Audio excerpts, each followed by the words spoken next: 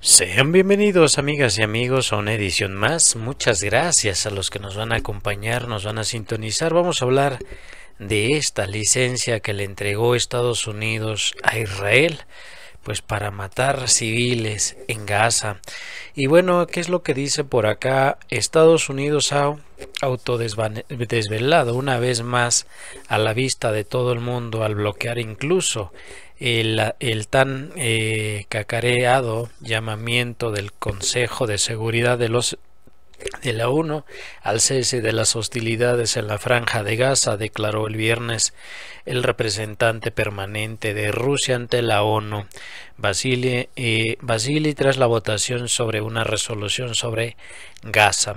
Dice por acá, en lugar de ello, Washington juega con un, un, juego sin escrúpulos, ha vendido un texto, una licencia de facto para Israel que mate, bueno, este atente contra estas personas en Gaza con pretextos de crear las condiciones para el cese de las hostilidades, y afirmó Basili.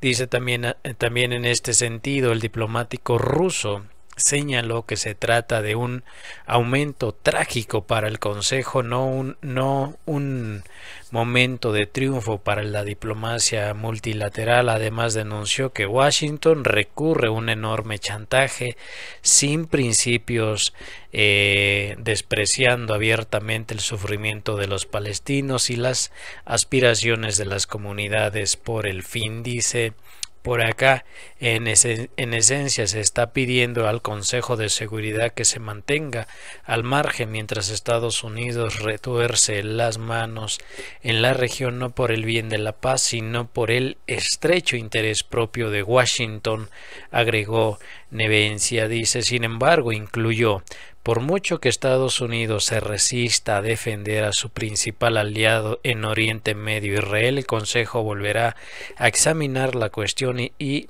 exigirá clara y, e, e, e, inequivocable el cese de la hostilidad, dice asimismo el representante ruso ante la, ONU, explicó que Moscú no, no vetó la resolución solo por solidaridad por con los países árabes. Si, si este documento no hubiera recibido el apoyo de varios estados árabes, sin duda no habríamos vetado, dijo. Siempre hemos sostenido que el mundo árabe es capaz de tomar sus propias decisiones y asumir plena responsabilidad por ellas. Esa es la única razón por la que hemos bloqueado en este documento indicó que eh, ¿Qué exige o qué pasó con esta resolución? Dice el Consejo de Seguridad de la ONU aprobó este viernes una resolución que busca garantizar el cese de la ayuda humanitaria a la franja de Gaza, crear condiciones para que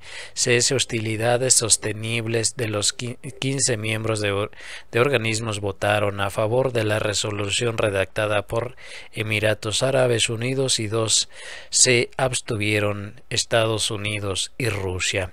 Dice el documento exige a las partes de eh, faciliten el uso de todas las rutas disponibles hacia a lo largo de toda la franja de Gaza para las entregas de ayuda de ayuda directamente a los civiles palestinos además de además la resolución exige la eh, liberación de los rehenes que tomaron pues estos eh, estos estos grupos de amas, entonces antes la votación, el organismo debatió y, y, presentó a los miembros las emiradas eh, enmiendas realizadas por las delegaciones rusas y estadounidenses. Moscú proponía detener de inmediato los combates para permitir el acceso humanitario seguro y sin obstáculos para urgentes medidas encaminadas al cese sostenible de hostilidades. Esta iniciativa resultó bloqueada por representantes de Washington que recurrió a su derecho de veto. Dice por su parte, eh, la delegación de Estados Unidos consiguió los cambios que, que, por su parte la delegación de Estados Unidos consiguió los cambios que quería. En el borrador Washington apoya causas en las hostilidades para proteger a los civiles y permitir la liberación de los rehenes tomados por las milicias de Hamas el 7 de octubre en lugar en un alto al fuego duradero.